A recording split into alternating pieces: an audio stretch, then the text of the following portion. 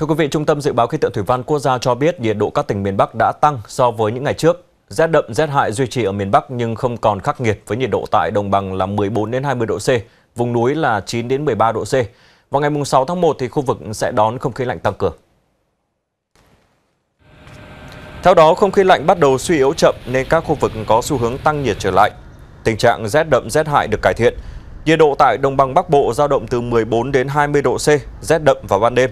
Ban ngày khu vực có nắng hanh trời rét. Tại miền núi nhiệt độ duy trì ở vào ngưỡng nhiệt 6 đến 9 độ. Rét hại tiếp diễn nhưng không quá khắc nghiệt như những ngày trước đó. Trạng thái này có thể duy trì trong 3 ngày tới, sau đó miền Bắc đón thêm đợt không khí lạnh tăng cường khiến nhiệt độ toàn khu vực tiếp tục giảm. Tháng 1 này dự báo sẽ tiếp tục có 4 đến 6 đợt không khí lạnh. Trong 20 ngày đầu tháng nền nhiệt ở miền Bắc có xu hướng giảm thấp và khả năng xuất hiện nhiều ngày rét đậm rét hại hơn so với trung bình nhiều năm.